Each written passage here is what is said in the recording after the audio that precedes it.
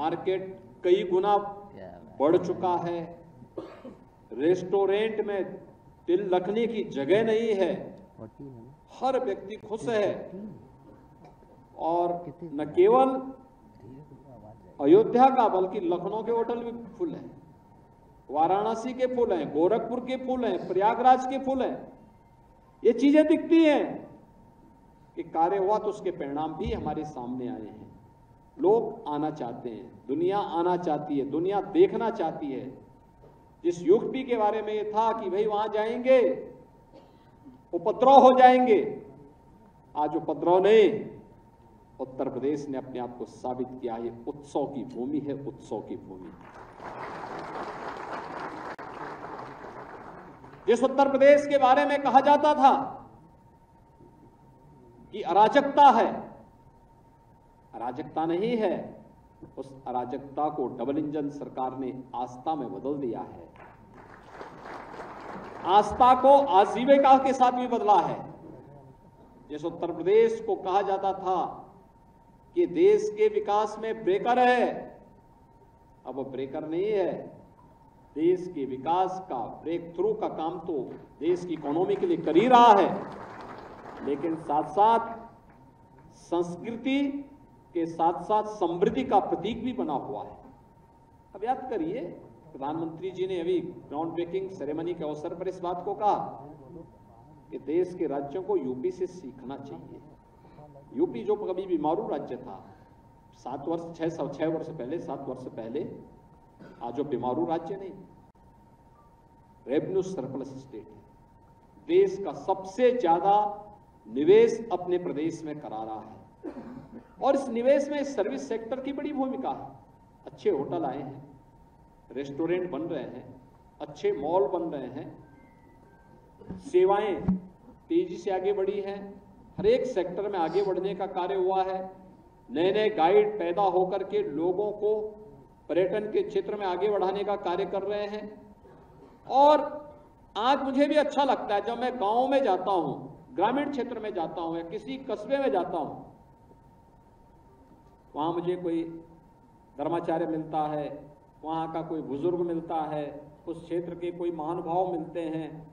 अलग अलग जीवन के अलग अलग क्षेत्र में जिन्होंने, जिनके पास एक अनुभव है और जब उनसे चर्चा होने लगती है तो मुझे बोलने लगते हैं कि देखिए, हमें एक काम आपका बहुत अच्छा लगा। मैं पूछता हूँ, क्या हो गया? कहते हैं, साहब, हमारे यहाँ इतना प्राचीन ये स्थल था, इस स्थल को सुंदरीकरण का कार्य करा दिया आपकी सरकार ने। तब मैं कहता हूँ धन्यवाद देना है तो आभार व्यक्त करना है प्रधानमंत्री जी के प्रति करिए। और धन्यवाद देना है तो हमारे लोकल सांसद और विधायक को धन्यवाद दीजिए, जिन्होंने इसका प्रस्ताव हम तक पहुँचाने का काम किया। आज जो साढ़े छह सौ से अधिक परियोजनाओं का यहाँ पे आज लोकार्पण और शिलान्यास हो रहा है, ये सब उन्हीं के प्रस्तावों पर आधारित है। कोई मंदिर है, कोई हेरिटेज प्रॉपर्टी है, उसका व्यवस्थित विकास का कार्य हो रहा है। कहीं पे इको टूरिज़्म की किसी साइट को डेवलप करने का कार्य हो रहा है। कहीं एडवेंचर से जुड़ा हुआ कोई स्पॉट है, उसको डेवलप करने और वहाँ तक पहुँच मार्ग के निर्माण के लिए कार्य किया जा रहा है। अलग अलग प्रकार के कार्यक्रमों को लेकर के ये सारी चीज़ें आगे बढ़ रही हैं। हम जब किसी धार्मिक स्थल को विकास करते हैं या किसी हेरिटेज प्रॉपर्टी को संरक्षित करने का कार्य करते हैं तो इसके साथ हम अपने अतीत को भी संरक्षित करते हैं।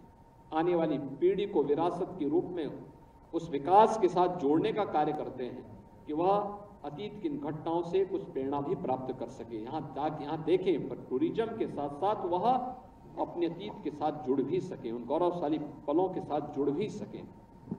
आज दुनिया अयोध्या या काशी क्यों आती? है इसी अपने अतीत को जोड़ने के लिए आती है, देखने के लिए आती है। अयोध्या के बारे में लोगों ने सुना, लेकिन पहले भय के मारे नहीं आते थे। आज जो लोग आ रहे हैं, संतुष्ट होकर के जाते हैं कि पहले जो भय था वह भय अयोध्या ने दूर कर दिया है। अब हम अयोध्या आ रहे हैं। काशी आते हैं। पहले जो कहा जाता था, संकरी गली है।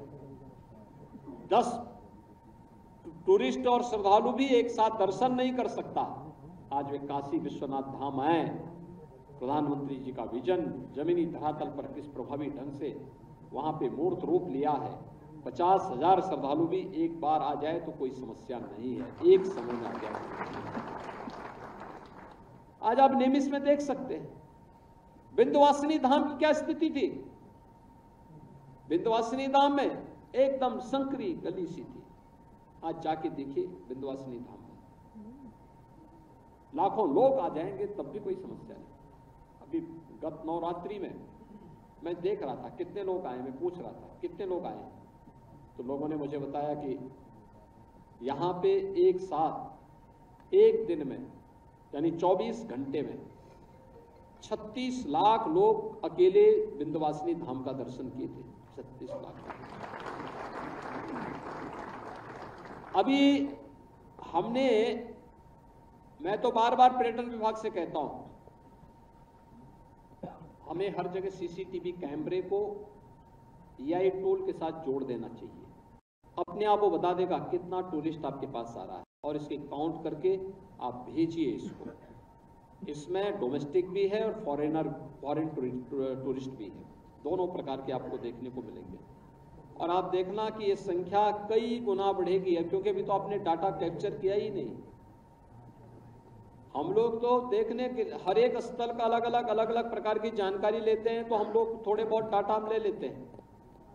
लेकिन शेष, अगर हम उस डाटा को कैप्चर करके उसको सिस्टमेटिक तरीके से आगे बढ़ा दें, उत्तर प्रदेश के समकक्ष कोई नहीं आने वाला, कोई नहीं आने वाला। और एक अपार संभावनाएँ हमारे पास है।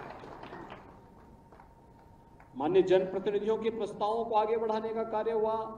इसके माध्यम से हमने अपने सर्विस सेक्टर को स्ट्रेंथन किया और इस सर्विस सेक्टर की सुदृढ़ता के कारण उत्तर प्रदेश की इकोनॉमी में भी मजबूती आई है। आज उत्तर प्रदेश देश की अग्रणी अर्थव्यवस्था के रूप में आगे बढ़ता हुआ दिखाई दे रहा है। एक और हमने स्पिरिचुअल टूरिज़्म को तो काफ़ी प्रमोट किया। अब हम लोगों ने बुंदेलखंड के किलों पर कार्य करना प्रारंभ किया है। या प्रदेश की प्राचीन ऐसी इमारतों को, प्राचीन किलों को हम होटल के रूप में और अन्य पर्यटन की गतिविधियों के केंद्र बिंदु के रूप में कैसे विकसित कर सकते हैं, इस पर भी हमारा कार्य चल रहा है और मैं चाहूँगा कि बहुत तेज़ी के साथ विभाग को इस कार्यक्रम को लेकर के आगे बढ़ जाना चाहिए। बिना संकोच के पॉलिसी लाइए, उस पॉलिसी पर प्रभावी ढंग से अमल करते हुए आगे बढ़ जाइए। मुझे लगता है देश और दुनिया यहाँ की तरफ़ देख रही है, आना चाहती है, उसको आकर्षित करने की तैयारी हमें करनी चाहिए। Tourist map, digital tourist map आप तैयार करिए साथ ही साथ। अलग अलग टीमें अलग अलग तरीके से कार्य करें। और हमारा प्रयास होना चाहिए हर एयरपोर्ट पर, हर रेलवे स्टेशन पर, हर बस स्टेशन पर एक टूरिस्ट डेस्क भी आपका तैयार होना चाहिए। आपका एक वहाँ पे टूरिस्ट फेलो वहाँ मौजूद होना चाहिए, जो लोगों को इसके बारे में गाइड करे। बताएँ, हर प्रकार की सेवा के बारे में वहाँ बताएँ। वहाँ के टूरिस्ट के महत्वपूर्ण स्पॉट कौन से हैं? कहाँ कहाँ लोगों को जाना है? इनके बारे में बताएँ। रहने की व्यवस्था क्या है? खाने की व्यवस्था क्या है? अलग अलग उसमें आपको इन सभी चीज़ों को आगे बढ़ाने की तैयारी करनी चाहिए। यूपी इतना लंबी रेखा यूपी खींच लेगा कि कोई दूर दूर तक दिखाई नहीं देने वाला है। उसकी तैयारी के लिए हमें आगे बढ़ने बढ़ने की आवश्यकता है और मजबूती के साथ आगे बढ़ने की आवश्यकता है। मुझे प्रसन्नता है कि आज आदरणीय प्रधानमंत्री जी की प्रेरणा से, उनके मार्गदर्शन, उनके नेतृत्व में उत्तर प्रदेश ने इस स्पीड को आगे बढ़ा करके जो परिणाम प्राप्त किए हैं, इसको हम और अच्छे ढंग से आगे बढ़ाने का, इसको हम और अच्छे तरीके से हमें आगे बढ़ाना है। और ये तब जब अगले वर्ष प्रयागराज का कुंभ भी है। 2025 में प्रयागराज का कुंभ, फिर से 19